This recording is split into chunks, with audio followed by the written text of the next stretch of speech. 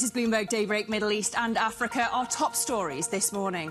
Japanese stocks slip the most in months on growing speculation the Bank of Japan will raise rates. Investors look ahead to US inflation data tomorrow after Friday's mixed jobs report. As the holy month of Ramadan begins, ceasefire talks remain deadlocked. US President Joe Biden warns Israel that invading Rafah would be a red line.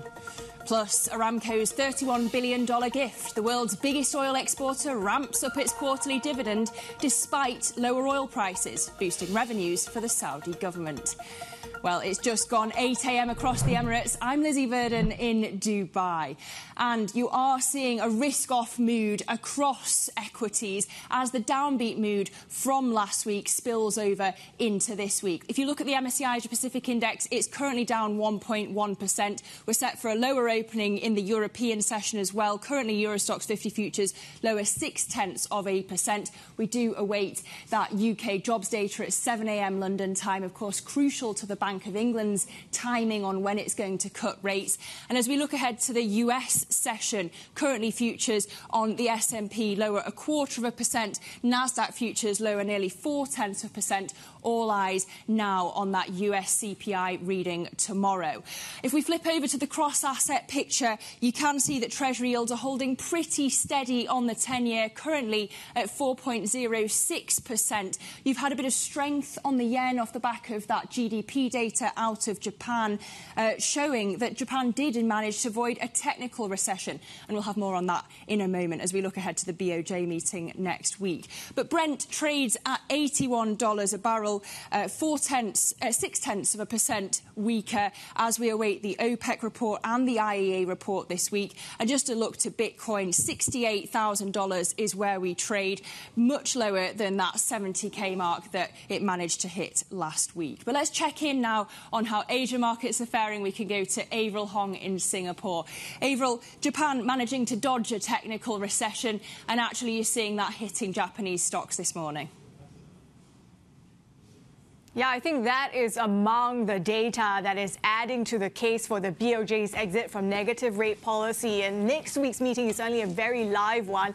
As you say, that's putting pressure on Japanese equities, including the AI and chip related ones, particularly hard hit, not just because of the strength of the yen, but also that downdraft that we got from US counterparts last week. Uh, we're seeing Chinese tech stocks, the consumer related ones, a bright spot today after data that shows CPI rose after four months of declines. Uh, this seems to be a temporary, short-lived thing, though, so might not be reading too much into it. Let's flip the board and take a look at the cross-asset picture across Japan because the Nikkei is down, as is the Topix. We're seeing the Topix declining by the most since October last year. Japanese bonds under pressure. We're also seeing the yen, as you mentioned earlier, sitting below the 147 level. This is the strongest against the greenback since the start of February on the back of that GDP data, but also what we're getting from media noise. A lot of chatter coming in, including the latest from Jiji Press, talking about how the BOJ is mulling not just the end of negative rate policy, but also yield control. So, as I say, the meeting next week will be really one to watch, Lizzie. Definitely, Avril. Thank you for Avril Hong in Singapore. And now let's get back to that geopolitical story. Ramadan has begun, but ceasefire talks between Israel and Hamas appear to be deadlocked. The US had hoped for a six week pause in fighting and the release of dozens of Israeli hostages in return for hundreds of Palestinian prisoners. Without a deal, Israel has threatened to invade Rafah, where more than a million Palestinians are sheltering. Joining me now for the latest is Bloomberg's Dana Khraiche. Dana, do we have any sense of when or if Israel would invade Rafah? And what about the risk of violence in East Jerusalem? Good morning. Um, Israel has not yet set a deadline for the for its invasion of Rafah, but have made it clear that it will go ahead with the plan. Um, I think they paused this plan just to allow for ceasefire talks to materialize probably before the start of Ramadan, like it was planned. Um, but today is Ramadan, and there are no ceasefire talks um, advancing or progressing. Um, we know that CIA director is in the region. The Israelis are saying that we're trying to close some gaps um, between Israel and Hamas, but it seems that Hamas doesn't even want to uh, end the fighting during Ramadan. Now, as for the potential of uh, violence in East Jerusalem, this is definitely likely, and it is more frequent during Ramadan, um, where um, Muslim Palestinians want to pray at the Al Aqsa Mosque, and the violences um, tend to be between settlers and Palestinians or Israeli police and Palestinians. So, given that this is a flashpoint and has been, um, it is likely to remain that way during the month of Ramadan. Okay, I just want to play US President Joe Biden's warning for Israel here. Take a listen. There's red lines that if he crosses, and he cannot have 30,000 more Palestinians dead as a consequence of going after. There's other ways to deal, to get to, to deal with the with with the trauma caused by Hamas. So Biden saying that a Rafah invasion would be a red line. Donna, what does that mean practically, given the US president has said he'd never cut off weapons supplies to Israel? He's affirmed Israel's right to fight Hamas. Right. So in his interview, like we were saying, he did say Rafah's invasion is a red line. But then when he was asked it again, he said there could never be a red line where I would stop uh, providing Israel with arms because Israel uh, arms because Israel's defense is critical. But this just shows just one, how frustrated um, the U.S. is growing with Israeli policies, especially um, given his criticism of uh, Israeli Prime Minister Benjamin Netanyahu and how he's handling the war, saying that he is hurting Israel. Um, and second, it just shows like how the U.S. is trying to balance this rhetoric, um, trying to push Israel not to go after Rafah, but at the same time they cannot tarnish this long-standing relationship uh, between Israel and the U.S. And this is the U.S.'s most important ally in the region. Um, and it's a, there's another example example of how uh, the U.S. has been trying to push Israel to allow more aid into Gaza, and that hasn't materialized very well. And then we saw um, a couple of maybe two weeks ago uh, where Palestinians were killed during aid distribution, and then that prompted the U.S. to start aid drops, and now trying to build this dock um, near the Mediterranean to allow more access of aid to the to Gazans. So it is kind of the U.S. is saying, you know, I'll take it in my own hands and I, and I'll do it with allies like the U, uh, the EU, like the UAE and others. Um, and so this is just how the U.S. is trying to balance this rhetoric. They want to push Israel to do what the U.S. wants, which is agree on a ceasefire and not to go after Hamas in Rafah. But Israel is definitely in definitely intends on doing exactly that. Okay, Dana Khraiche, we thank you for that update. And of course, we will stay across the geopolitical story throughout the programme. Still ahead, traders are hedging bets on when the ECB and the Fed will start cutting rates. We'll get the outlook from Rasmala Investment Bank later in the hour. But next, hear why UBS Global Wealth Management says the dollar's lost ground and why they reckon it'll stay on the softer side. This is Bloomberg.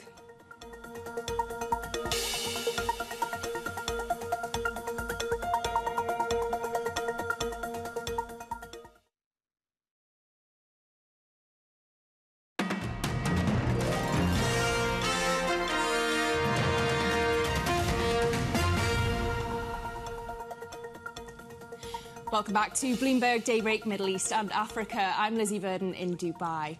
Now, China's annual session of Parliament, the National People's Congress, wraps up in Beijing in a few hours with perhaps more emphasis on what leaders didn't do than what they did do. So, for more, let's speak to our Greater China Senior Executive Editor, John Liu, who's in Beijing. John, what's been your key takeaway from the NPC this year? Well, I think the main the main thing that the leadership here in Beijing was trying to do was instill some confidence in the outlook for the economy. Uh, they uh, they came out with a very ambitious five percent target for growth this year. What they did not do, as you referred to earlier, is they didn't really give us the details about how exactly they were going to get to that five percent growth. Uh, what they are also not doing this time is at the end of the NPC, when we usually would have had the premier uh, speaking to reporters in his annual press conference. That will not be happening this year uh, and in the foreseeable future. So, again, uh, adding to the concern that there is less, less insight and transparency into how this economy is working. OK, Bloomberg's John Liu, we thank you for that. And of course, the NPC meeting today ends at 11 a.m. UAE time without a traditional press briefing from Premier Li. Just in terms of the market reaction to the NPC so far, if we take a look at last week, you can see it was a fourth straight week of gains for onshore stocks but a second week of losses for offshore stocks. Materials were the strongest sector on the Chinese MSCI. Real estate and consumer stocks were the biggest laggards, and the offshore yuan a touch stronger in line with dollar weakness. So that's the market reaction to the NPC, which wraps up at 11 a.m. UAE time today. Well, the US jobless rate climbed to a two year high in February, even as hiring remained healthy, which points to a cooler and yet resilient labour market. The figures illustrate the type of softening in the job market that the Federal Reserve wants to see, but will it be enough for the central bank to start cutting rates? For more to make sense of all of this confusion, let's bring in Wayne Gordon, Commodities and FX Managing Director at UBS Global Wealth Management. Great to have you on, Wayne. Uh, let's start then with the Fed. We had Jay Powell speaking last week uh, before the blackout period began on Saturday. We've got a raft of eco data this week. All eyes on the CPI print tomorrow, of course. Markets almost fully pricing a quarter point cut in June. But just in terms of the dollar, do you think it's going to stay on the softer side all the way to the Fed meeting? Well, let's just lay out, you know, our sort of view around the Fed, and we think the Fed start cutting rates around the June period. Um, clearly, that's been a little bit um, delayed uh, because some of the data around consumers was actually better than expected at the start of the year. Uh, but it's pretty clear now that the data is starting to cool a lot, and we think that will give the Fed a lot of comfort. Uh, that will enable them to start cutting. And of course, it is going to be a synchronized central bank cutting basically across the G10, uh, with the exception of the Bank of Japan. Um, but having said that, um, there is a lot of length still uh, from a futures perspective in the dollar. We think that there are opportunities where some currencies outside the dollar are presenting pretty cheaply, such as the Australian dollar, even to some degree the pound.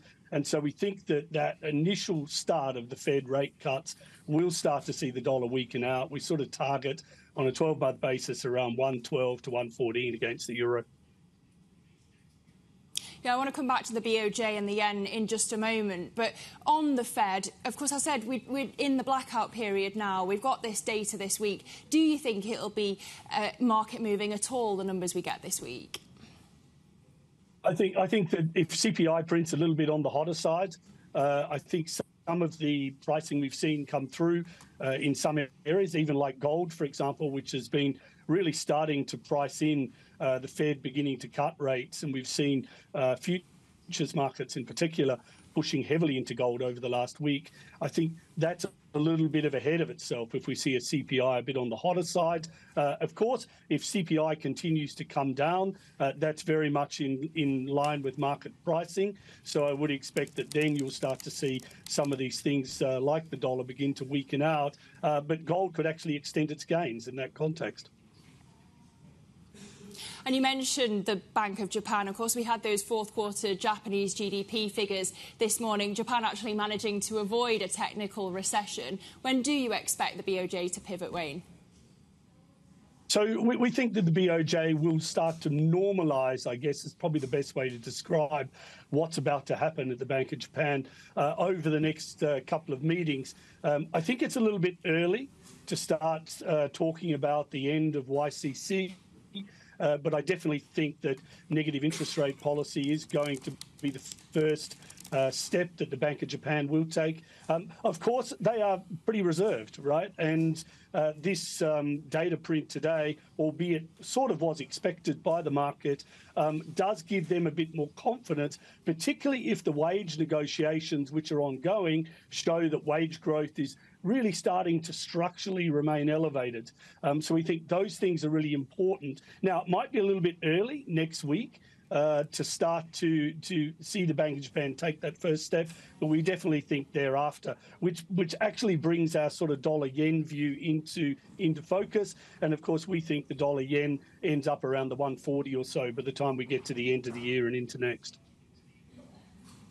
Okay, interesting. And when you mentioned gold, I'm in Dubai for two weeks. I'm thinking about hitting up the gold souk. But I hear that it just keeps getting more and more expensive. People are getting put off the yellow metal. What's your outlook for the price? Have I any hope in the next fortnight?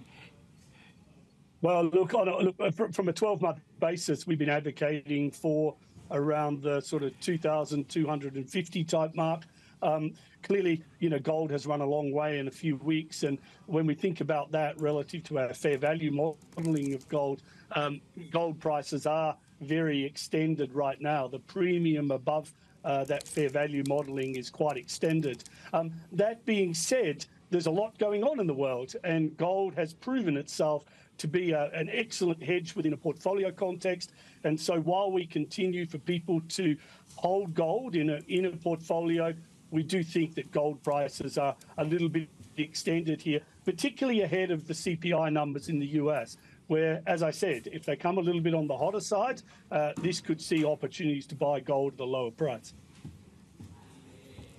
Okay, and I'm just interested as well in your outlook for oil demand because it was interesting to see in Aramco's earnings that they say oil demand in China is growing, but then how do you square that with the China National Petroleum Corporation, the CNPC, saying that crude consumption growth is starting to slow? Look, I think it comes down to degrees here. Um, so, you know, with the soft landing in the United States, um, economies beginning to recover to some degree, such as in Europe and so on. And also, we do expect that China growth will actually be, although the markets have been uh, uh, pretty lackluster, China growth, um, the, the, the, the, target they have is around the 5%, uh, which does suggest that their demand for oil is going to continue. Now, um, the, the growth the growth of oil over the next sort of 12 months. Maybe it's a little bit slower than what we've experienced over the last 12 months, but nonetheless, we still think the market will be either balanced or in deficit. That leaves us with prices about where they are now, if not slightly higher. Uh, so we still have a very positive view on oil prices from this point. Uh, it's just that um, you know growth is probably going to be a little bit on the slower side going into the second half. Okay, Wayne Gordon, Commodities and FX Managing Director at UBS Global Wealth Management. Great to have you on the programme as always. Thank you. Maybe I'll wait for that trip to the gold souk. Plenty more still ahead. This is Bloomberg.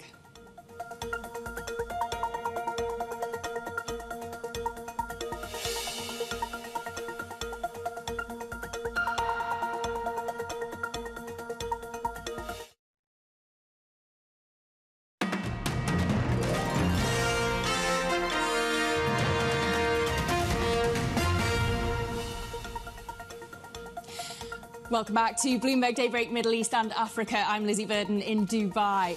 Now, despite falls in the oil price, the world's biggest crude exporter, Saudi Aramco, yesterday raised its dividend, having reported the second highest annual profit in its history. Aramco's payout is, of course, the most important source of revenue for the Saudi state.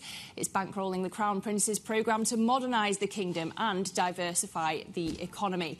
For more, we're joined by Bloomberg's Anthony Di Paola.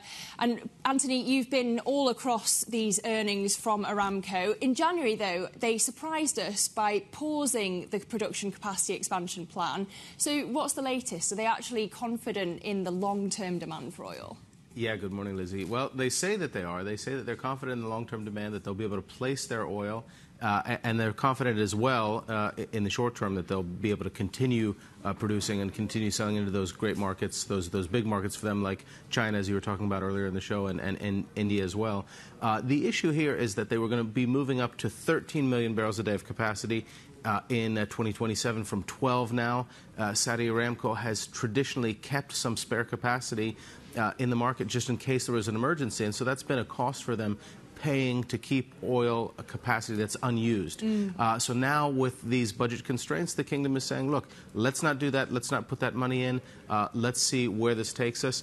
Uh, the company uh, doesn't really have a say in that because that's a government, uh, a government directive, and that's a government order for them to increase or to stop. They're confident, though, if they need to, if they need to bring that oil back on, they can do it quickly and, and increase some of those uh, some of those fields. But the government wants the money to be flowing so they can buy those expensive footballers. what That's was correct. their update though on Aramco's talks for US LNG projects? Was there an update? The update was they're interested, which uh, which we knew that they're looking at that. That's a business that they really want to get into. They've also set up a, a trading arm as well too, and that's big into LNG. So they want to get some of those assets to trade around. They've got a lot of gas domestically. They've just uh, made some some additional uh, discoveries in one of the big fields that they're working on. They're going to work on that to use uh, f- that gas for power and to create uh, uh, hydrogen that they can export. So the power at home, hydrogen for export, and LNG they want to do elsewhere. They've bought into some assets in uh, in Australia, and they're looking to do a similar kind of deal either on their own or with a partner in the United States. Okay, so these are how they're kind of bankrolling the uh, government plans to modernise the economy. But then we saw yesterday in the Saudi GDP figures another drop. So what does that say for MBS's modernisation plans? Yeah, well, what's really important here is that they need to take that, that oil income, put it into these other businesses, these other industries, and, and build those up for the future.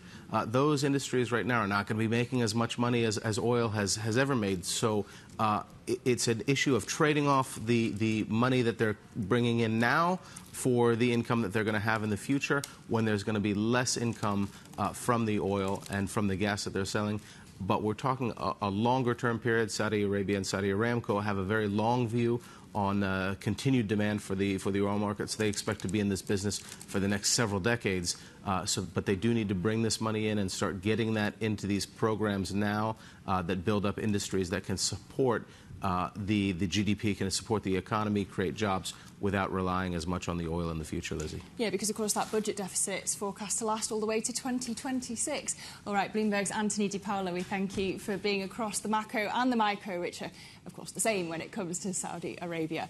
Well, let's get you up to speed on some of the other stories on the Bloomberg terminal today. Egyptian inflation unexpectedly accelerated last month, with consumer prices in urban areas rising 35.7% in the year to February. That was up from a reading just below 30% in January, with the pound's recent devaluation set to further increase import costs. Month on month, prices were up more than 11%, the fastest pace in records stretching back to 2007. Portugal's centre right AD coalitions won elections held this weekend in a tight race, which also saw support for the far right surge. With almost all votes counted, the AD secured 79 seats, two more than the Socialists. Far right party Chega, which was only founded in 2019, recorded the biggest jump, quadrupling its representation. Those are some of our top stories this morning. On the markets, you've got futures pointing to a lower opening. S&P E-minis are lower two tenths of a percent. Euro Stoxx futures, uh, Euro Stoxx 50 futures lower two, and the MSCI Asia Pacific Index is currently lower 1.1 percent. Stay with us for more. We've got plenty more ahead. This is Bloomberg.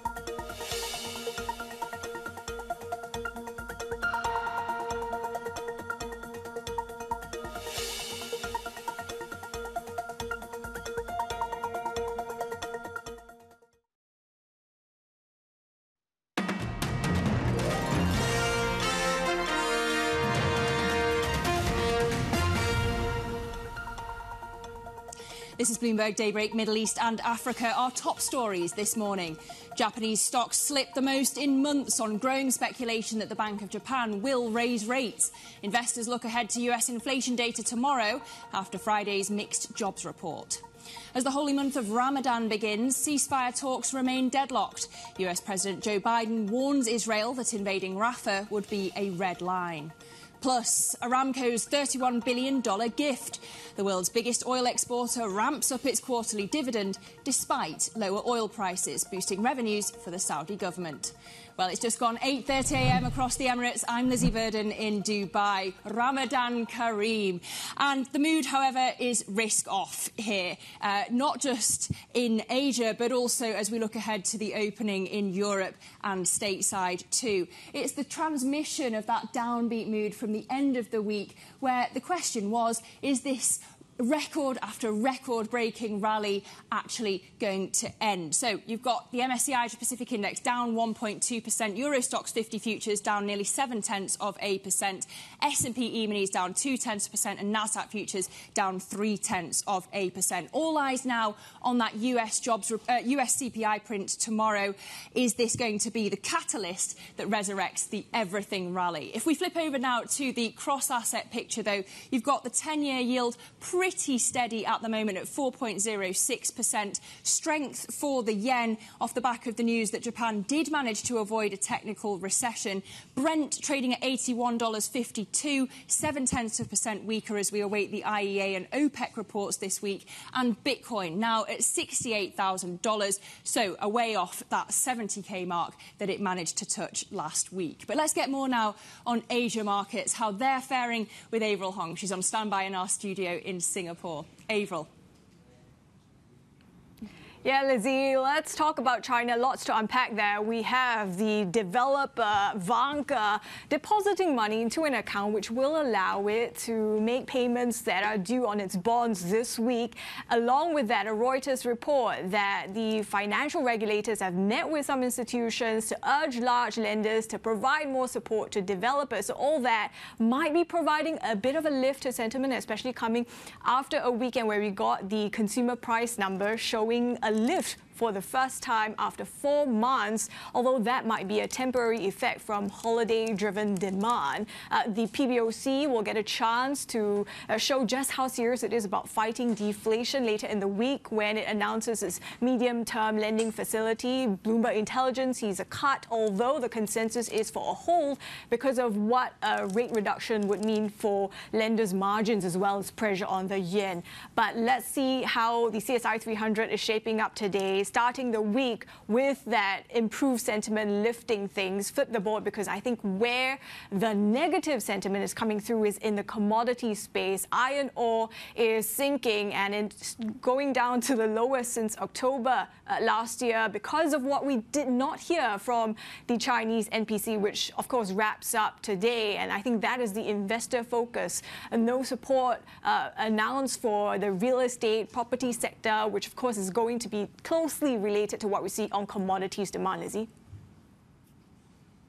Okay, Avril, and that NPC meeting wrapping up at 11 a.m. UAE time. We thank you, Avril Hong in Singapore. Now, let's get back to the US macro story because we have got a raft of eco data coming out this week. But last week ended with the US jobless rate climbing to a two year high in February, even as hiring remained healthy. So it points to a cooler but still resilient labour market. And the figures illustrate the type of softening in the jobs market that the Federal Reserve wants to see. But will it be enough for the central bank? to start cutting rates? Well, let's bring in Eric Swartz, the Vice Chairman of Rasmus, Rasmala Investment Bank. Maybe you can tell us, Eric, since this data is so confusing. Uh, we get lots more numbers this week. What do you reckon are the chances that the Fed spares its own projections of changes its projections of three rate cuts this year? Well, uh, given that we have seen uh, higher than expected inflation levels uh, over the past couple of months in the U.S., uh, the next inflation report is very, very important. Should we continue to see an elevated rate of inflation uh, in the U.S., as well as the fact that the economy, particularly the labor market, still remains quite robust, it could well be that we see the Federal Reserve pare back mm. the interest rate cut expectations. We've seen over the past several uh, weeks, you know, a cut expectations of six cuts to three cuts, exactly. and quite likely we would see a move to two cuts unless we start to see greater uh, actions, greater progress in terms of moving inflation rates down. Which, of course, plays into the currency picture as well. But let's talk about the BOJ, because, of course, we had that GDP data this morning. What do you think are the chances the BOJ bites the bullet at the March meeting? Well, I'm not sure about the March meeting, but it's highly likely that they will look to normalize uh, interest rate policy, uh, raising rates into a uh, positive uh, place.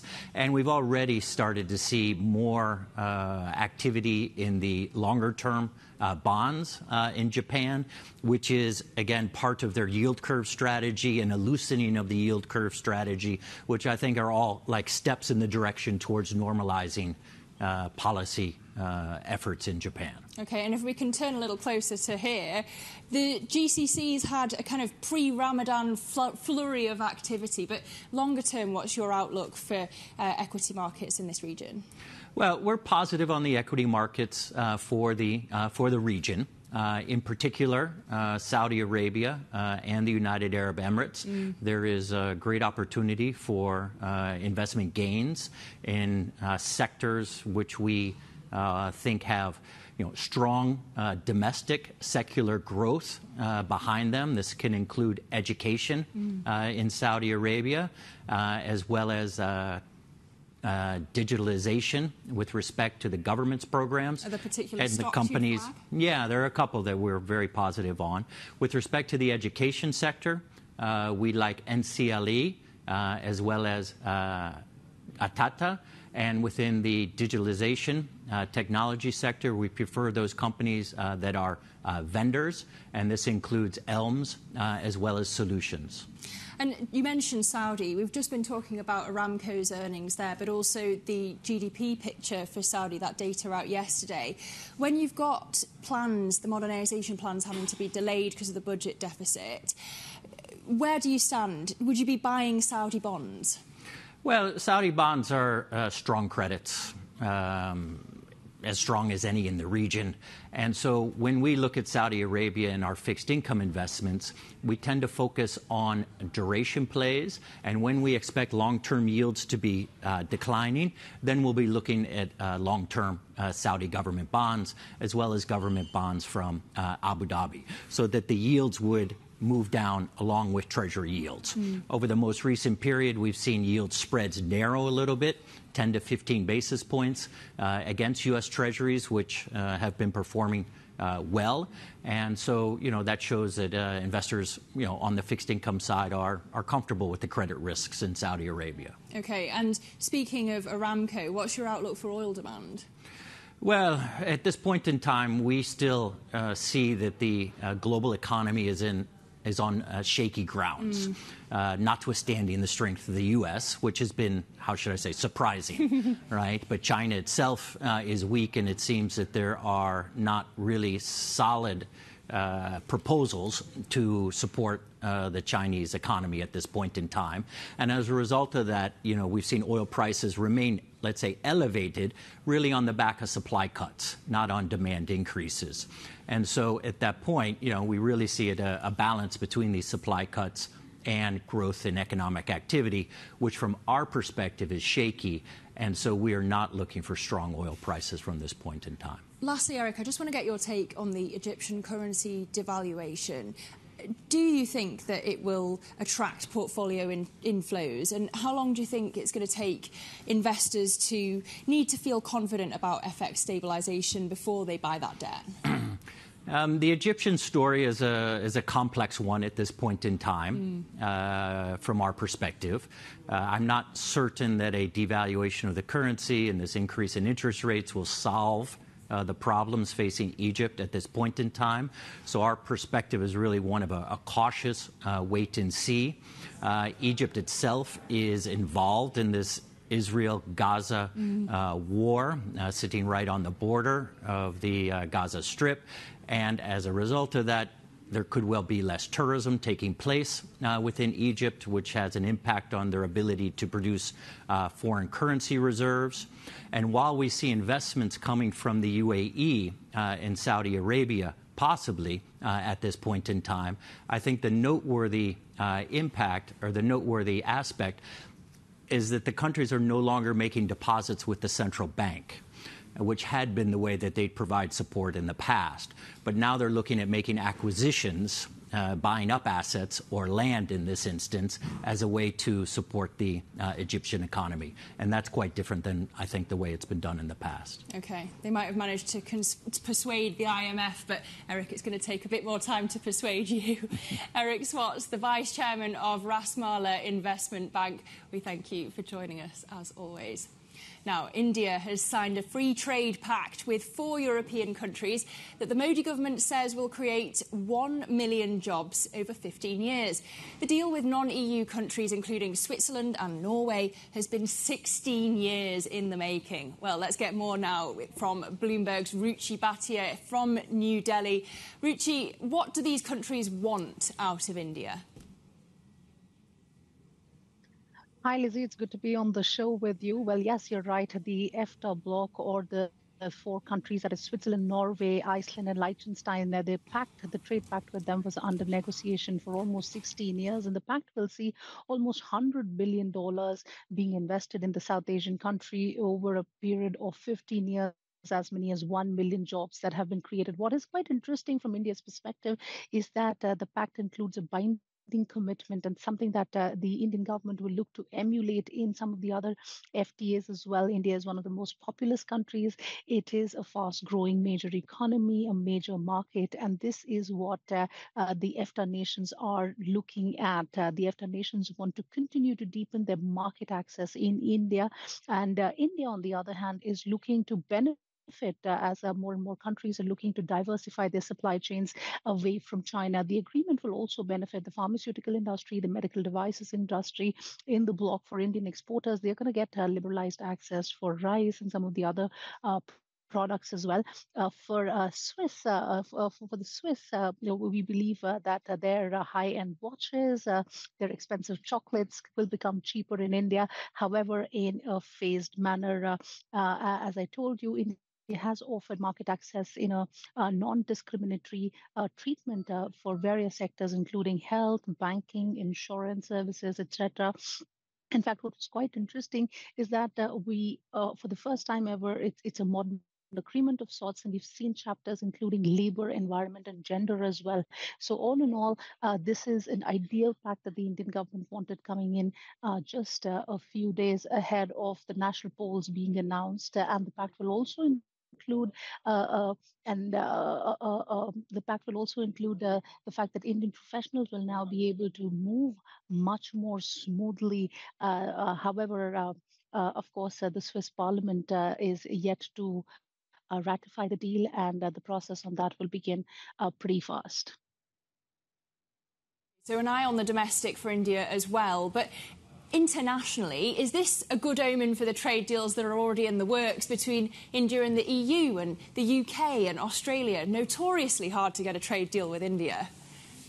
Well, absolutely. India has been uh, working very hard to forge deeper ties with some of its major trade, uh, trading partners because India wants to become a manufacturing power powerhouse create the millions of jobs for its uh, large workforce. And what we do understand is uh, that in the latest, uh, you know, the, the latest uh, trade pact that has uh, uh, been done, coming in just ahead of the polls, will definitely set the tune for some of the other pacts that are are in the making.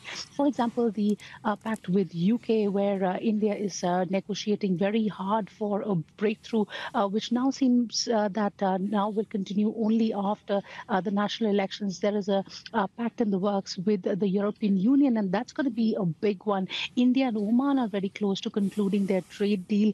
India has already signed a free trade agreement with the UAE and is in talks with a trade pact of sorts with the Gulf countries as well. So uh, yes, this uh, this this uh, uh trade uh, pact has come in at the right time, and India is looking to do more and more trade talks. But uh, you're right, clinching some of those is not going to be very easy. Mm. Ruchi, you've got me thinking about Swiss chocolates now. We're going to have to take a break so I can run to the pantry. Bloomberg's Ruchi Bhatia, we thank you for that update. Plenty more ahead. This is Bloomberg.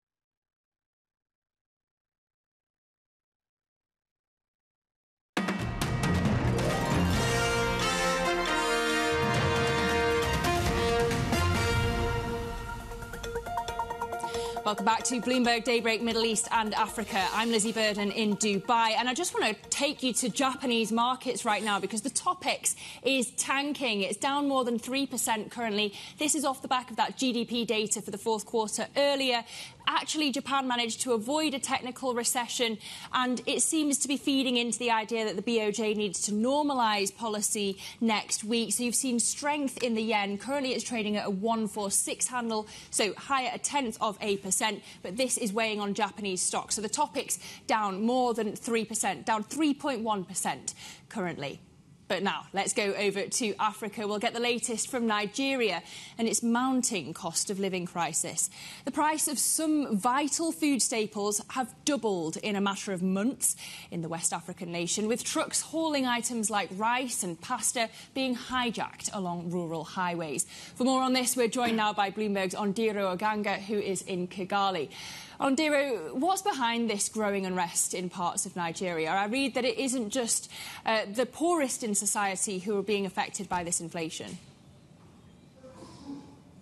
Lizzie, there's a growing desperation in the country stemming from the aggressive reforms introduced by President Bola Ahmed Tinubu, maybe currently being dubbed as Tinubunomics. When he was sworn into power in May, his first order of business was to scrap off fuel subsidy. And though they were really costly to the government, they were a form of relief immediately after pump prices doubled, transport prices tri tripled, and this trickled down to the cost of goods and services. We also saw him liberalize the FX market, and from that, the Naira has plunged 70% to the dollar since June. Coupled with insecurity in the country and particularly in food producing regions, the cost of food has really gone up. And Nigeria is a country where an average household spends at least 50% of their revenue on food. So we are having the World Food Program warning that this year alone, 26 million people face food shortage and food insecurity. And the IMF is calling for the government to put in place measures that will curb this rising challenge. Okay, so that's the economic story. Though turning to Ethiopia, why is the nation reconsidering the recognition of Somaliland as a sovereign state? Lizzie, we are seeing this reconsideration because there's mounting political and diplomatic pressure on Ethiopia to pull back because we are even seeing the U.S. say the region cannot afford any more tension. And so when Ethiopia's Premier Abiy Ahmed was in Nairobi, he expressed to Pre President William Ruto that he's very much willing to step back from the controversial elements of the deal that they have with Somaliland, something that President William Ruto also raised with Somali's President Hassan Sheikh Mahmoud, who was in Nairobi at the same time. However, Somaliland is not reading from the same kumbaya script. If anything, the ambassador at large says that they're very committed to their deal with Ethiopia, but Ethiopia's access to the port solely lies on them formally recognizing Somaliland as a sovereign state. Okay, Bloomberg's Ondiro Oganga with the latest out of Africa from Kigali. We thank you. Coming up next, we're going to talk Boeing and the latest mishap for Boeing with the United Airlines aircraft running off the taxiway into a grassy area, landing at Houston on Friday.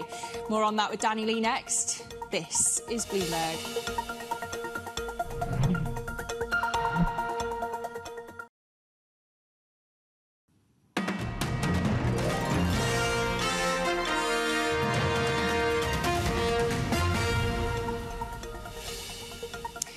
Welcome back to Bloomberg Daybreak Middle East and Africa. I'm Lizzie Burden in Dubai, and we're coming up to 9 a.m. here in the Emirates. Now, the U.S. Justice Department has opened a criminal investigation into the January mid-air blowout of a Boeing 737 MAX fuselage panel on an Alaska Airlines flight. The airline says this is standard practice for the DOJ and that it doesn't believe it's the target of the inquiry. But let's get more now from Bloomberg's Danny Lee. Danny, you've been all across this story from the very start. Boeing doesn't have records for what appears to be have been a faulty repair shortly before the jet was delivered last year. I mean, just put into context for us, how unusual is that? Yeah, I mean, well, Boeing has admitted that it hasn't got any record, any documentation in relation to work it did on a door panel, this same door panel, which subsequently blew out midair in early January on an Alaska Airlines flight. Now, this incident had has heaped a whole heap of scrutiny on Boeing subsequently. Uh, and it's uh, you know, problematic because as an investigation continues into uh, accident investigation continues into trying to find out what has happened, uh, it's pretty difficult for investigators to maybe pin down as quickly as possible for what happened. And of course, for a door panel to blow out in mid-flight, it, is, has, been, it has been suggested that uh, four bolts which would keep this door panel in place were not put back on after they were taken off on this door. And Boeing's response, in fact, is in relation to uh, a comment last week in Congress at a Senate committee hearing. Uh, the U.S. National Transportation Safety Chair Jennifer Homendy condemning Boeing, condemning Boeing for its lack of cooperation into the ongoing investigation. And so it is a, a bit of a headache from that part. But as you said also at the top, uh, we also heard over the weekend that the DOJ, the Department for Justice, has opened a criminal inquiry into uh, this uh, accident on this Alaska Airlines accident. Uh, Alaska obviously has said that it doesn't believe it's the target of the investigation. The DOJ hasn't said anything uh, official, and Boeing hasn't also commented either. Yeah, so a United Airlines aircraft as well ran off the taxiway into a grassy area after landing at Houston on Friday. Very briefly, Danny, what more do we know about this other Boeing mishap? Yeah, this uh, aircraft, another MAX jet, uh, it uh, landed at Houston, but uh, in conditions, uh, it, it, was a this plane just uh, sped uh, off the runway and into this grassy area. And of course, with any kind of accident or, or incident, this heaps more uh, scrutiny on Boeing. But we don't believe this necessarily is a, an issue for uh, Boeing, but more for uh, United Airlines in this. And the investigation is ongoing. Okay, Danny Lee, we thank you for that update on all things Boeing and the DOJ investigation, which we will keep across for you here on Bloomberg. We're currently looking at futures stateside, pointing to a lower opening as they are in Europe. Euro Stoxx 50 futures are lower seven tenths of a percent. The MSCI Asia Pacific Index is currently lower 1.2 percent, and Japanese stocks taking a particular beating. The TOPIX down 3 percent this morning. Stay with us for more. We'll be talking talking more on the Middle East and Africa across the next hour. This is Bloomberg.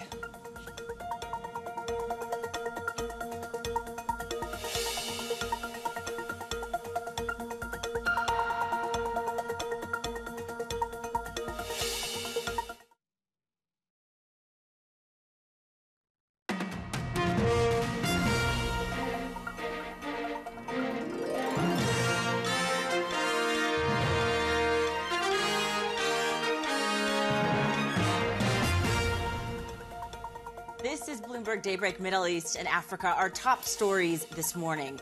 Japan's tanking TOPIX stocks slipped the most in months on growing speculation the BOJ will raise rates. Investors look ahead to U.S. inflation data tomorrow after Friday's mixed jobs report. As the holy month of Ramadan begins, ceasefire talks remain deadlocked. US President Joe Biden warns Israel that invading Rafah would be a red line. Plus, Aramco's $31 billion gift to the world's biggest oil exporter ramps up its quarterly dividend despite lower oil prices, boosting revenues for the Saudi government. All that and more coming up. It is just past 9 a.m. across the Emirates, 7 a.m. here in Johannesburg. I'm Jennifer Zabasajja. And I'm Lizzie Burden in Dubai. Ramadan Kareem, if you celebrate, and happy Monday.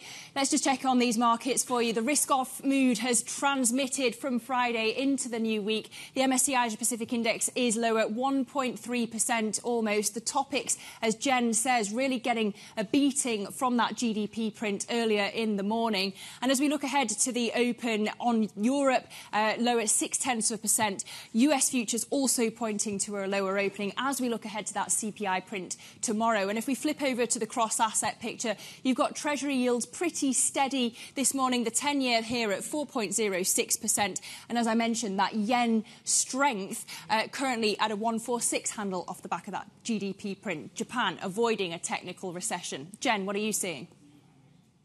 Yeah, that's right, Lizzie. Look, let's keep taking a look at some cross assets. In, in particular, if we take a look at where oil is, oil is holding on to losses uh, this Monday morning. If we look at Brent crude uh, right now, it, it's down uh, about six tenths of a percent right there. It's right now trading at $81.54 a barrel. Uh, WTI is also pushing lower uh, right now at $77.44. We're awaiting uh, reports from OPEC and also the IEA, which might, may provide some clarity about demand outlook later this week also, we're taking a look at Bitcoin right now at 68,576. Uh, a little bit of downside, but of course had a pretty uh, volatile week last year, uh, pulling back a bit after it touched $70,000 on Friday for the first time ever. Uh, also, the interesting story, the picture here with iron ore uh, down more than 4%. Right now, iron ore is the weakest major commodity uh, that we're tracking at present, and there's more losses potentially in store if we take a look at China's under underwhelming NPC meeting that is wrapping up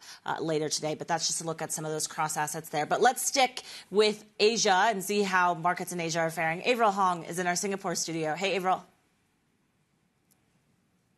Hey ladies, yeah, we're focusing on Japan, especially given what we're seeing on the Japanese currency as well as the stock benchmarks in the country.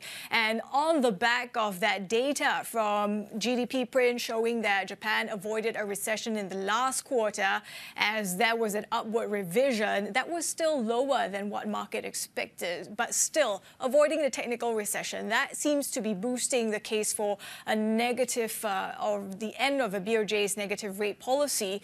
But that that being said, I just wanted to highlight that we already saw the strengthening of the Japanese currency ahead of that data dropping because of reports from the likes of Jiji Press talking about how the BOJ is mulling the end of not just negative rate policy, but also yield control, that it wants to focus not just on the yield levels, but the volume of bond purchases. So that's what we're seeing on Japanese currency. Let's for the board take a look at the stock benchmarks in the country. We showed you the Nikkei and how it's been performing for much of today. The broad-based gauge, the seeing almost every sector losing ground today, no thanks to the strength in the Japanese currencies. Those export related stocks, they're taking a beating today. And we're actually seeing the Topix also declining by the most since October last year. And our MLive colleagues have pointed out that timing is part of all this because as the fiscal year wraps up, investors might be taking money off the table. Uh, not much sentiment to drive it along right now. Guys.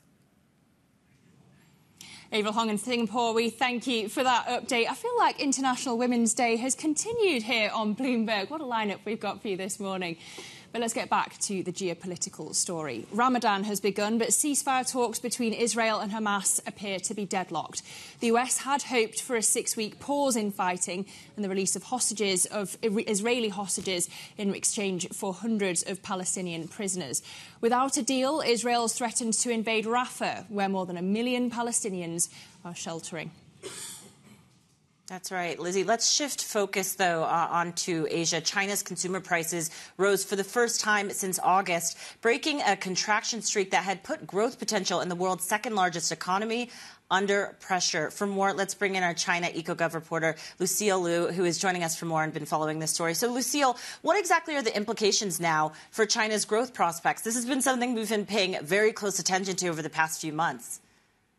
Yeah, absolutely. I mean, we all know how sensitive deflation is here. Um, so yeah, I mean, so last month we did we did see CPI go up uh, 0.7 percent. I think we had uh, the Bloomberg survey. Uh, economists predict 0.3, so that is. Um, it is the beat there, but of course, the economists are saying that this is not going to last. They basically say it's because of the lunar Chinese New Year holidays, and also because we had quite extreme weather in mid-February, which really pushed up prices. Um, so yeah, unfortunately, not, not, something we expect to last. And of course, even with the New Year, uh, the Chinese New Year's spending, uh, we did see data there that showed wild trips increased, so the total spending was up, the per capita spend was down as people were becoming more frugal, um, as you know, sentiment has really dropped here. And you've got the National People's Congress wrapping up in about two hours. Is there anything we should be watching out for as lawmakers end this high profile meeting? Yeah, absolutely. So I think a lot of investors have been saying that this has really been a bit of a nothing burger. That you know things have been. They, there wasn't a big stimulus. There wasn't a big announcement. Um, so, you know, for the wrap up, we are expecting the passing of this state council organic law that basically just codifies sort of what's already in practice, which is that the government, the state council, uh, really answers to the party, and of course, you know, uh, is subservient to, uh, you know, see thought and. Uh, you know, yeah. So basically, putting the state council in place there. Um, of course, the implications there. Analysts are saying, you know, this makes it harder in the future. Of course, if you know the state council wants to um, come come out from under that, they will have to, you know, re uh, revise the law again. Um, and also, it makes it harder for the premier to make independent decisions that aren't, you know, approved by presidency himself. And of course, we're not going to get the traditional press briefing from Premier Li at the end of today. Even more of a nothing burger. Bloomberg's Lucille Liu, we thank you for being across that Congress. Still ahead, the Biden administration is said to be weighing sanctions on several Chinese tech companies. We'll bring you more on that story later in the hour. But up next, hear why Neovision Wealth Management says the latest jobs report out of the US is a wolf with a sheep disguise. That's next on Bloomberg.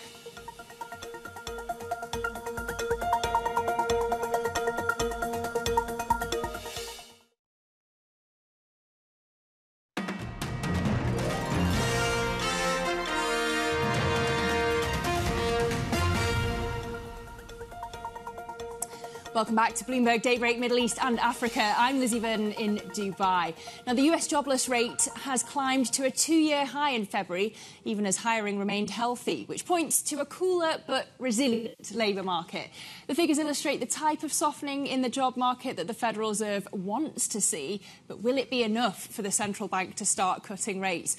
Let's try and get some analysis from Ryan Lemand, co founder and CEO of Neovision Wealth Management. Maybe, Ryan, you could make sense of all this confusing data that we keep getting out of the US. But I want to start on US equities, if you don't mind, because we did see a bit of a downbeat mood at the end of last week. It seems like people are questioning whether this record after record breaking rally is coming to an end. Could the CPI print on when tomorrow, I should say, actually be the catalyst that resurrects the mood? Good morning. Thanks for having me again. I think it's no secret. I've, I've, been saying it for quite a few months here on the show that we're contrarians. We don't believe in this rally, in this tech rally, even though it's happening, but it's, it's, it's just senseless because it resembles very much what we saw in year 2000. I was mm. much younger, but it's very much like it. And we believe it's most likely it will end in tears and I'm happy to take this responsibility uh, for saying this. So uh, I think people are realizing it. The parallel with Cisco in year 2000 is very striking. Cisco was the only company producing routers when internet came to be in year 2000, and today it's NVIDIA with GPUs and, and, and, uh, and chips. So will it be the same? We think yes. I think people are realizing it as well, especially the older people who have been here in uh, year 2000. Well, so then, Ryan, uh, I mean, uh, it's, it's, it's interesting that you point out that you're a contrarian and also that you were much younger back then uh, when we saw something similar to this. So then, uh, back to Lizzie's question, I mean, what is actually going to stop this rally from happening? Because there's no signs uh, that are pointing to what it is that you're saying. Well, there are several things that can happen. Uh, the obvious ones is un unemployment going up, commercial real estate, regional banks, and some, something related to NVIDIA itself and AI itself. I mean, Sam Altman got fired just a few months ago in a very surprise move, and then how he's back. So it's a very young industry that is still developing, and there are many accidents that can happen that can wake up people. Uh, and then there's geopolitics. We have rarely seen such positive correlation between geopolitical events across the world. Uh, US, Iran, North Korea, South Korea, China, Taiwan, Ukraine. So there's a lot of positive correlation in these geopolitical events that can also trigger uh, a few things. That's why we prefer to stay in let's say, not so much overvalued markets and stay away from overvalued markets. Okay, so you're in the camp that warns about the concentration risk. I'm interested that you mentioned about regional banking because it's a year to the day since Silicon Valley Bank's collapse. How much more of a crisis do you actually see in re- regional banking then? Well, look at the New York Community Bank. I mean, um, just a few months ago, it was a $10 billion uh, mm-hmm. uh, market cap bank. Today, it's officially a penny stock. So we think there's more to happen, and this will be triggered by the commercial real estate. So the CDOs of 2008 is today's commercial real estate. And we think the crisis is not yet over because it's, it's quite, quite big. Ryan, let's pivot to China because, of course, we mentioned this is the last day of the NPC meeting. Uh, our MLive poll survey uh, talks about how investors still feel like they need more convincing in terms of being bullish on China. But I know you and your team uh, are not necessarily sitting on the sidelines. I mean, is this still a market that you uh, are continuing to be bullish on? Yes, we, we took the sidelines actually until prices went to levels that were absolutely senseless. So it's the complete opposite of what we're seeing in the US, where prices are very, very high. In China, they went to, to levels where it's, it's a no-brainer. It's a screaming buy. And that's why we started stepping in. And we're happy to take a few percentage uh, points down until we think the Chinese government steps in with something more serious. And this is when we see a big snap up of, of Chinese stocks. So yeah, we're starting to put on positions on very specific Chinese stocks. Absolutely. A screaming buy for China China. But then, what's your outlook for oil demand uh, with China as a kind of factor into that? Because you've had Aramco saying that oil demand is growing in China, but we were talking about this before. The CNPC saying that crude consumption growth is starting to slow. Mm-hmm. Uh, well. On oil, we're looking at the supply side mm. because on the supply side, um, uh, there will be a crunch eventually. Because if you look at uh, capital expenditures happening on the supply side, whether upstream or downstream, uh, 85% of this capex is replacement capex. But if you look at the total capex, it's actually 30% lower at what, what we have seen a few years back. So if demand up just a little bit, there will be a supply crunch, and that's why we are still positive on uh, on oil. Uh, China, uh, there will be an increase in demand if the Chinese government or when the Chinese government steps in and uh, supports the economy. If and when, Ryan, that is the big uh, question. Uh, really appreciate you being on, though, and giving us your insights. Ryan Lemand, uh, co founder and CEO of Neovision Wealth Management, joining us there in studio in Dubai. All right, plenty more still ahead. Stick with us. This is Bloomberg.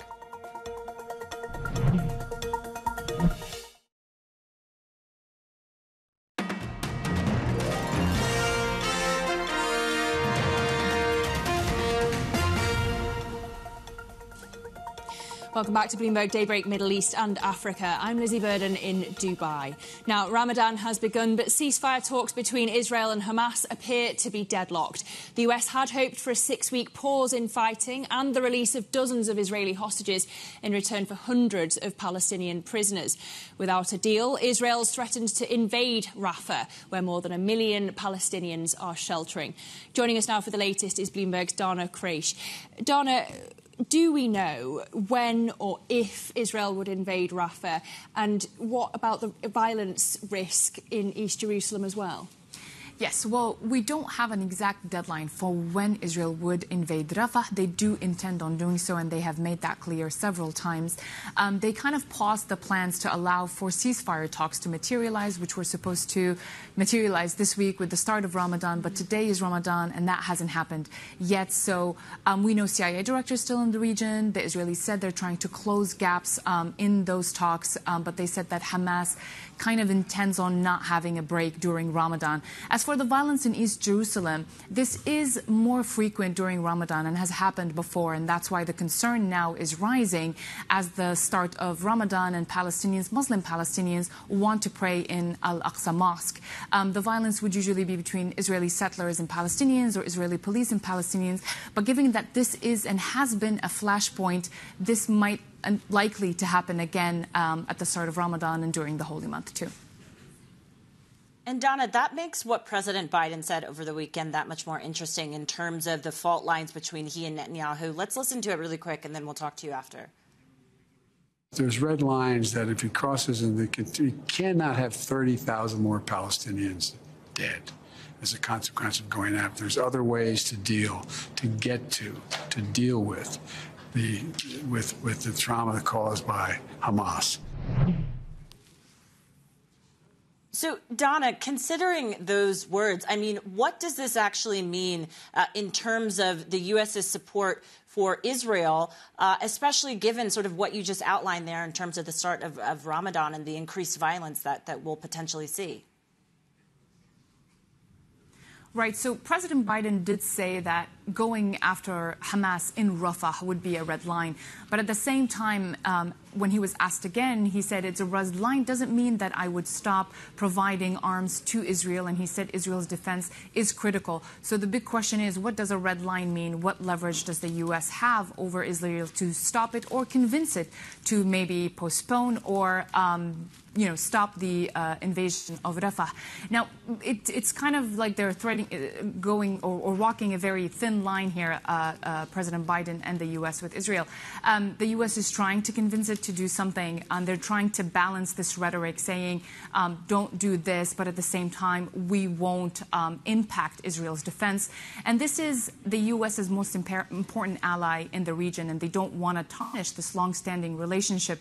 And, that, and an example for that is how the U.S. had been trying to convince Israel to better organize aid into Gaza, allow more access to it, and then the U.S. took it in its own hands, um, doing the aid drops into Gaza, and now trying to build a dock on the eastern, uh, on the Mediterranean coast to allow more aid into Gaza. So this is just how shows how frustrating the, the U.S. is growing over um, Israel and particularly Benjamin Netanyahu, the prime minister's um, way of handling the war. And we saw in this interview as well how President Biden said that ben- Benjamin Netanyahu is hurting Israel rather than helping it with the way he's handling the war. Right, and it was interesting to hear Netanyahu's uh, comments responding to that. Uh, Bloomberg's Donna Khraiche uh, joining us in Dubai. Donna, thanks so much for that report.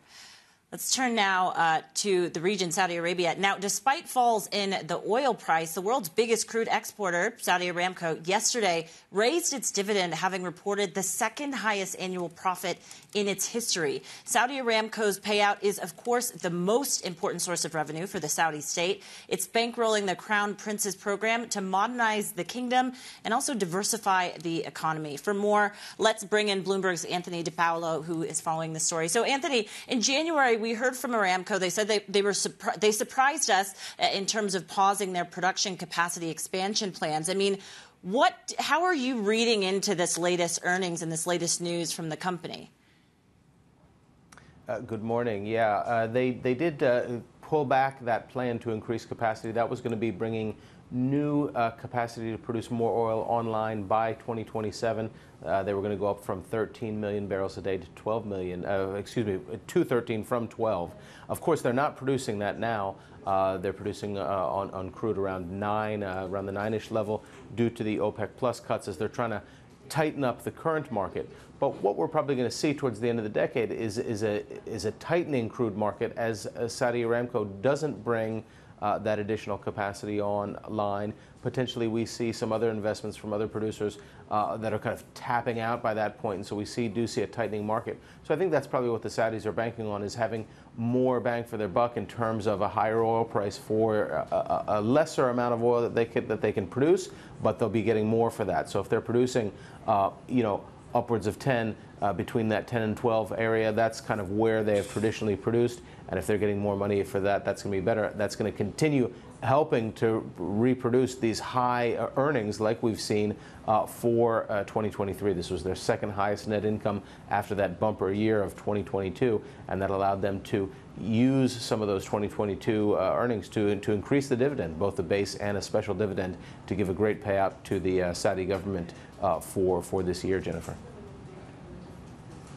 Okay, so that's oil, but of course, also Aramco's got some pretty far-flung LNG product projects. Are there any updates on those? Yeah, I mean, gas is another big component for uh, for Saudi Aramco. Uh, they're really leaning on some domestic fields to supply power at home, and then to potentially produce hydrogen for export.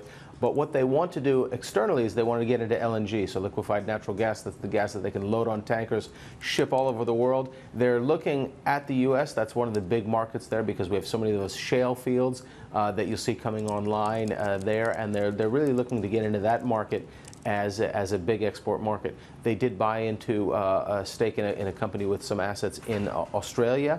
Uh, earlier this year, and so they're looking to finish that deal uh, as well as expand their kind of portfolio of these gas assets globally. So U.S. is really one of the areas of interest for them, they, they told journalists uh, yesterday, Lizzie. Uh, Anthony, how does this position Saudi, and, and in particular, uh, Mohammed bin Salman his plans uh, to transform the kingdom and the economy. I mean, how does all of this sort of position those big, ambitious plans that we've been hearing about for so long? Yeah, well, we've heard about those plans like uh, building the new Neom city that's going to be on the Red Sea. Uh, they are building up sports. So there was the uh, F1 this weekend.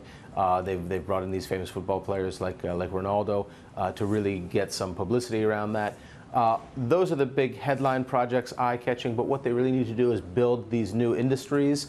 we've written in the past about them trying to do mining, some manufacturing, trying to do some electric car uh, manufacturing in the kingdom. So they really need to take that oil income while it's coming in and get it into building these new industries that are going to create jobs, that's going to create that non-oil income that they're going to need over the next coming decades to keep the, the economy going.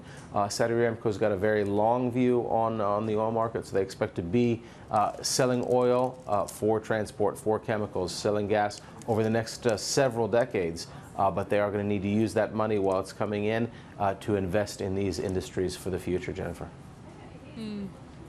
Okay, Bloomberg's Anthony Di Paola, we thank you for that update on the Aramco earnings and Saudi GDP. Stay with us for more. This is Bloomberg.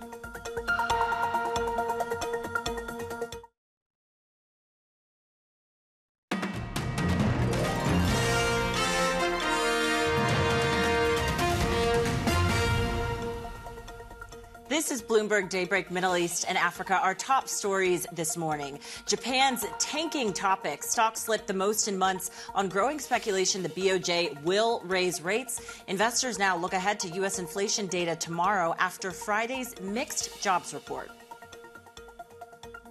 As the holy month of Ramadan begins, ceasefire talks remain deadlocked. US President Joe Biden warns Israel that invading Rafah would be a red line. Plus, Aramco's $31 billion gift, the world's biggest oil exporter, ramps up its quarterly dividend despite lower oil prices, boosting revenues for the Saudi government. It is just past 9.30 a.m. across the Emirates, 7.30 a.m. here in Johannesburg. I'm Jennifer Zabasajja. And I'm Lizzie Burden in Dubai. Good morning, happy uh, welcome to Monday, and of course, Ramadan Kareem. if you look at markets, it is risk off, however. You've got the MSCI Pacific Index lower 1.2%. So, following the risk off mood from Friday's session, the sense that this rally in stocks could be over.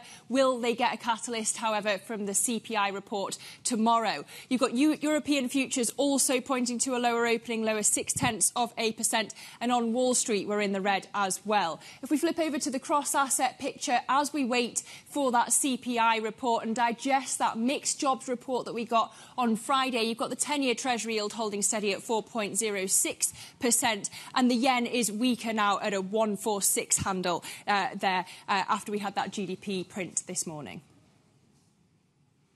Yeah, that's right, Lizzie. Uh, let's take a look further at cross assets. In particular, if we take a look at where oil is, uh, Brent crude uh, down right now about six tenths of a percent uh, at 81.58 right now. Uh, WTI is also pushing lower, and we're awaiting monthly reports from OPEC and also the IEA, potentially helping us to provide some clarity in terms of the demand outlook. Uh, oil had a pretty volatile week last week, actually the most volatile since 2021. another pretty fascinating week was for Bitcoin. Bitcoin right now uh, holding just over 68,000, uh, pulling back slightly, uh, and that is of course coming after it touched $70,000 for the first time on Friday. So we'll have to pay attention to what the week uh, looks like for Bitcoin. And finally, iron ore uh, starting off the week uh, lower as well, down up more than 4%. It's one of the weakest, it is the weakest major commodity at present. And really, a lot of this is due to China's underwhelming NPC meeting that is wrapping up uh, later today. So that is more of your cross asset picture. But let's stick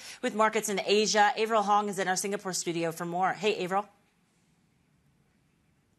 Hey Jen, yeah, we're really focusing on Japan today, given the speculation that's rising of a move from the BOJ next week.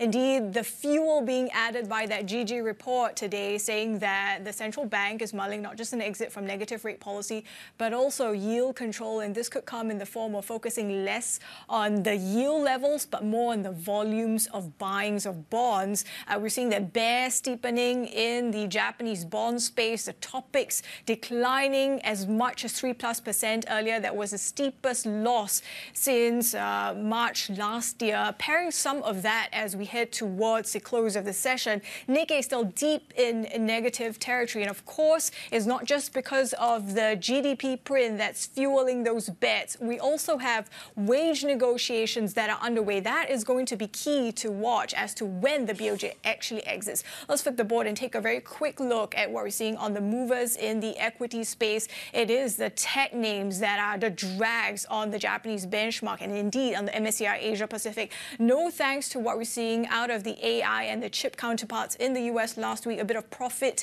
uh, taking underway also because of the strength of the Japanese yen. But Chinese names, a bit of a bright spot today, and this is on the back of that CPI data that we got over the weekend, guys. Yes, the yen strengthening, I should say, and hitting the Topix off the back of that GDP print. Avril Hong in Singapore, we thank you for that look at Asia markets. And we're going to stay with Asia because India has signed a free trade pact with four European countries that the Modi government says will create 1 million jobs in 15 years. The deal with non EU countries, including Switzerland and Norway, has been 16 years in the making. They always say it's hard to do a trade deal with India. Well, for more, let's bring in Bloomberg's Ruchi Bhatia from New Delhi. Ruchi, what do these countries want out of India?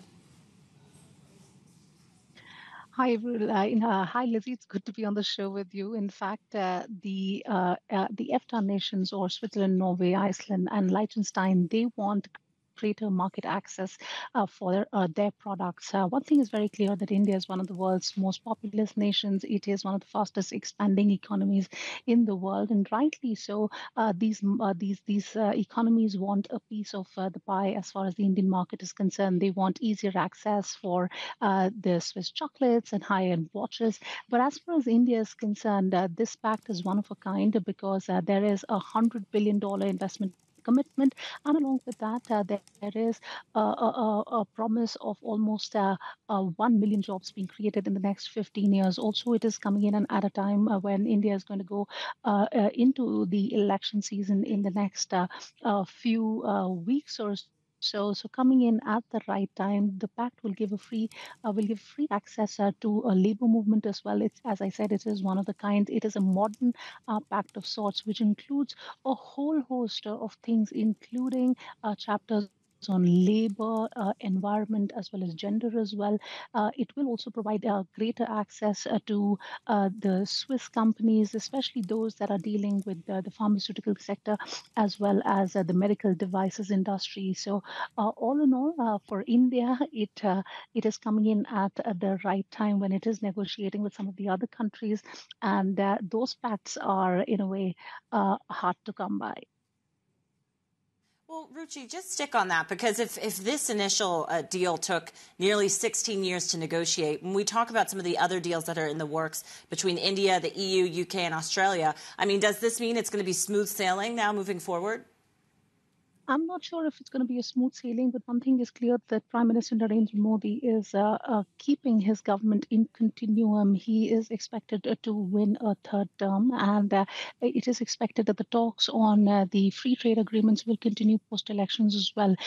Uh, the UK FTA, for example, uh, while the talks have been unresolved uh, at, at, the current moment and is heading into election season, uh, after the elections, one can expect those talks to resume. Also, the big one for India will be uh, the EU FTA as well, where some tough negotiations are underway. India is close to signing a trade pact with Oman as well, and that is going to be coming in at a time when India has already done one with with the UAE. There are talks with the, the GCC nations for a trade pact as well. And India, of course, is bargaining very hard. They're looking to, uh, uh, you know, for, for more access for their goods. But at the same time, India understands that uh, uh the kind of market access that they will provide for some of the other companies that are looking to diversify away from China uh, will be a big one. So, of course, these negotiations uh, will take some time.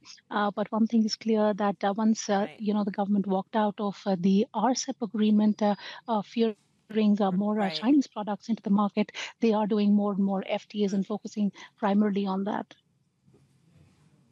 Bloomberg's Ruchi Bhatia, really great reporting there. Thanks so much for joining us uh, today on that report.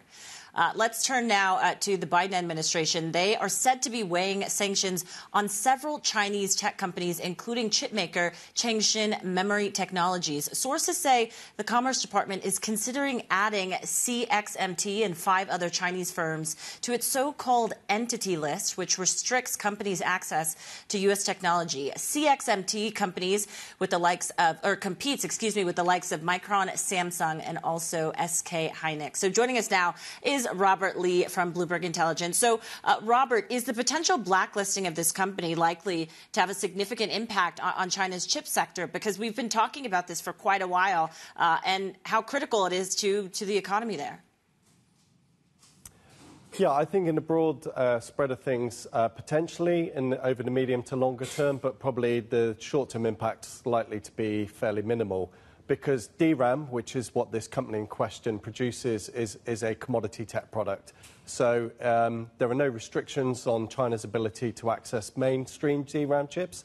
It can still buy them from Samsung and Hynix and Micron and some of the big global suppliers out there. So near-term impact's likely to be minimal.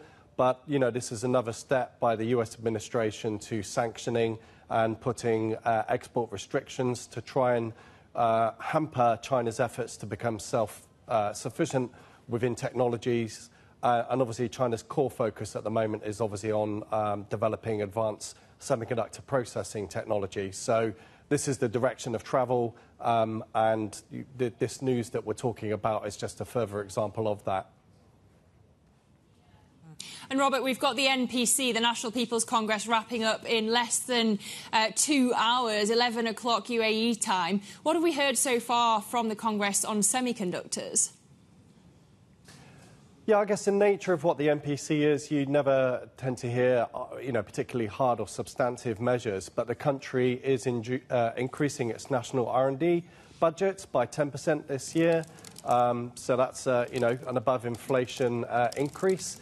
Um, and also, there was separate news uh, that broke on Friday that a separate state run uh, investment fund is looking to increase uh, funding on the semiconductor side by around 27 billion US dollars. Uh, if that news is confirmed, that would amount to a, an approximate 60% increase on the funding from that particular fund, known as imaginatively called the Big Fund. Um, so that, that would amount to a substantial increase in money uh, that the country's trying to throw at this challenge. And I think you know, that's really their only option at the moment, uh, given the technology restrictions that the US and its allies are putting in there. Throwing money at the problem, throwing you know, quality engineers at the problem is, is really their only option at this point. Okay, Robert Lee from Bloomberg Intelligence, we thank you for that. Now, ARK Investments' flagship innovation ETF had not held any Nvidia shares for about a year. We asked CEO Cathie Wood whether she regrets that decision and what might change her mind about the stock. Take a listen. We wrote it uh, most of the way up, but I'll tell you what we did. And this is as a portfolio manager, it's not one action, but the uh, the what what it causes in terms of another action. Last year, uh, we sold uh, in the flagship Nvidia and put it into Coinbase. Mm-hmm. Uh, Coinbase, I believe, is up as le- at least as much uh, as Nvidia, and it is much um, less well understood uh, the whole crypto uh, movement, the crypto asset movement, Bitcoin as a new asset class, and so forth, is not well understood or or completely accepted out there. So we prefer to go where others. Uh, are are not traveling as much. And you know, as we were moving out of uh, Nvidia, we were saying, okay, regulators are trying to crush uh, Coinbase here, and we were buying it on every dip. Nvidia hap- to, happened to be uh, one of the sources uh, for for that purchase. So it's not just what we do on the sell side; it is what we do on the buy side that uh, that you have to look at. Um, and yes, we do hold it in the more specialized funds, but we've been taking profits there as well for reasons I just described. Yeah, and to be fair, you're right. Coinbase is up about 620% since the end of 2022. So that compares with about 530% gain in NVIDIA. Is there anything, though, Cathie, in the NVIDIA story um, that would make you rethink the name and want to become more aggressive on it? Yeah, if the price came down a lot, uh, we would. You know, the the rate of return expectations or a split. Have... Would a split do it? Because I know we, we've been no, kind of a... no, no, no, no. Okay. That wouldn't change. That yeah. wouldn't change anything. No, the, the, the, no split adjusted then then the price. Um, so you know, if you look at uh, our portfolios, what we're trying to capitalize on with a Palantir, for example, uh, are the next stages of this AI revolution. Mm-hmm. Um, what we're seeing in the GPU side of things is NVIDIA, all praise to Jensen Huang. I mean, just unbelievable uh, company execution, vision, and so forth. And and it's not over. It's going to last a long time. But there are there are going to be many other companies benefiting from AI. The productivity lift alone is going to be massive, the most massive productivity lift uh, in history, we believe. And so this AI revolution is going to be broad based and is going to benefit a lot of companies. In the on the GPU side, of course, we have AMD, as competition, but many people do not understand that there's a lot of other surreptitious competition evolving out there. Uh, each of the hyperscalers uh, mm-hmm. is evolving its own chip strategy. You have a Tesla that uh, has designed its own chip for an AI chip for uh, the specialized, more specialized autonomous driving opportunity. And I think you're going to see a lot of companies developing more specialized chips. Um, we know that uh, NVIDIA, of course, will segment the market as well. So mm. um, we, we, just think that a, a, lot of the assumptions for NVIDIA, you know, that this is NVIDIA's market and it's right. alone, that those are changing.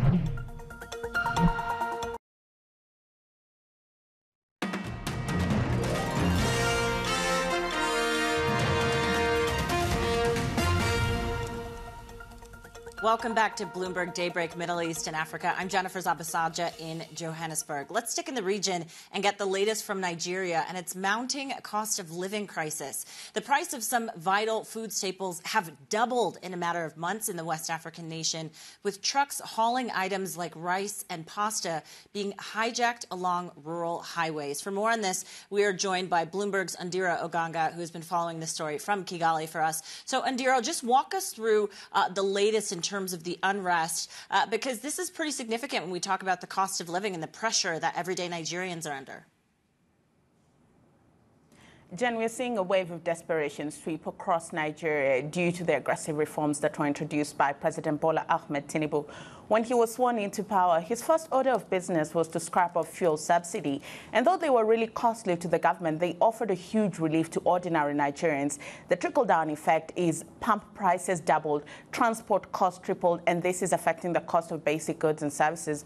We've also seen the liberalization of the FX market, and the Naira has plunged 70% to the dollar. Coupled with insecurity that was flagged by the Central Bank of Nigeria, the cost of food has risen astronomically. And this in an economy where an average household spends at least 50% of their income on food. The World Food Programme is warning that 26 million people face food insecurity this year. Ndira, I just want to get your take on Ethiopia. Why is it reconsidering the recognition of Somaliland as a sovereign state? Lizzie, we are seeing mounting political and diplomatic tension um, on Ethiopia, and they're beginning to fold on their position. When Ethiopia's Premier Abiy Ahmed was in Nairobi to meet President William Ruto, he mentioned that he's willing to step back from the most controversial deal of the element, um, or rather the most controversial elements of the deal that they have with um, Somaliland. And uh, this is something that President William Ruto also brought to his Somali counterpart, Hassan Sheikh Mohamud, who was in Nairobi at the same time. However, Somaliland is not reading from the same script. Their ambassador at large says that they're firmly committed to their deal with Ethiopia, but this is incumbent on Ethiopia recognizing Somaliland as a sovereign state. Okay, Bloomberg's Ondiro Oganga in Kigali. We thank you for that update out of Africa. Now, let's get you up to speed on some of the other stories Bloomberg is watching on the terminal today. Egyptian inflation unexpectedly accelerated last month, with consumer prices in urban areas rising 35.7% in the year to February. That was up from a reading just below 30% in January, with the pound's recent devaluation set to further increase import costs. Month on month, prices were up more than 11 the fastest pace in records stretching back to 2007.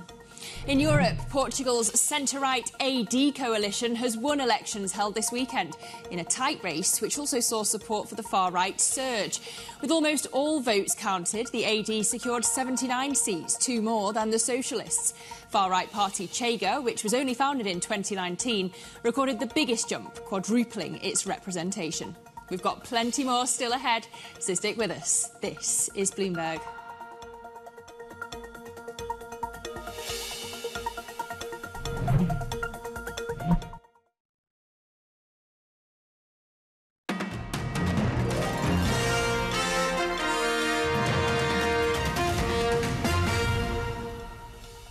Welcome back to Bloomberg Daybreak Middle East and Africa. I'm Jennifer Zabasajja in Johannesburg. The U.S. Justice Department has opened a criminal investigation into the January mid-air blowout of a Boeing 737 MAX fuselage panel on an Alaska Airlines flight. The airline says this is standard practice for the G- DOJ and that it doesn't believe it's the target of the inquiry. For more, let's bring in Bloomberg's Danny Lee, who's been following the story. So, Danny, Boeing doesn't have records for what appears to have been a faulty repair shortly before uh, this jet was delivered last year. I mean, how unusual is this? It seems like the bad news keeps piling on for Boeing right now. Yeah, and for Boeing, it says it doesn't have any records or documentation for the work that was done on this door panel. And so it just adds to you know, further criticism potentially at Boeing for its record keeping, record keeping, which is important in something like the aviation industry. And of course, this door panel, which eventually blew out midair on this Alaska Airlines flight in mid January, it's the incident that has heaped a whole string of uh, criticism uh, and fallout for Boeing, which it is now currently trying to manage. Uh, and so Boeing's response, in fact, was in relation to uh, Senate, US Senate committee hearing last week where the US National Transportation Safety Board Chair Jennifer Homendy criticized and lambasted Boeing for its lack of cooperation into its ongoing investigation into trying to find out what has happened. And of course, uh, this is something where this door panel is supposed to be held by four bolts, and it suggests that these four bolts were not in place on this aircraft uh, when it was uh, suffered this mid-air blowout. So this is obviously a PR nightmare for Boeing. How is it trying to shore up its commitment on safety, Danny? Yeah, that's right. And so one of the things that we've heard from Boeing in the recent days is that it is now going to try and link uh, more of safety and quality to uh, bonus payouts, and this will affect more than 100,000 uh, non-union Boeing employees going forward. And so, therefore, the onus is on uh, workers to ensure that everything it produces from the Boeing factory is safe and is up to the highest standard possible. And one other thing that we did see over the, the, the recent uh, days as well is that Boeing's largest union, the machinists, which make these aircraft, they're looking for their first full contract in 16 years, and they're looking for a pay rise of up to 40% over three years. So uh, clearly, uh, Boeing's negotiations with uh, workers in particular over things like safety and quality will continue for many weeks and months to come. Okay, and we will keep across that. Bloomberg's Danny Lee, we thank you for that update on Boeing. And as we look at the markets, you've got US equity futures pointing to a lower opening. S&P E-minis are lower a tenth of a percent. Euro Stoxx 50 futures are also lower at six tenths of a percent currently. You've got US Treasury yields on the 10-year lower a basis point at 4.06% as we await that US CPI print tomorrow. We also get at 7 a.m. UK time the UK jobs report. That, of course, will feed into the BO know, uh, Bank of England's decision making on when it's going to cut rates. You've got Brent currently uh, trading at $81 a barrel and Bitcoin not quite at that 70k level it was at on Friday. Stay with us for more. This is Bloomberg.